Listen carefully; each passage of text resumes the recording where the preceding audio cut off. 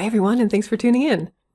Today I want to show you an AWS certification benefit that I think is sometimes overlooked, and that's how to save 50% on future certifications. Now this will only apply after you've taken and passed one certification. If you don't have any certifications yet, these won't be available, but keep watching because this will apply to you in the future. So I've navigated to aws.training slash certification. I'll sign in and then go to my account. You'll see the note here that you get redirected to certain CertMetrics. And this is the site that you use to schedule your exams and see your results. So if you've taken a certification, hopefully this looks familiar, but this is also where you get access to this benefit that I'm talking about. So come up here to Benefits.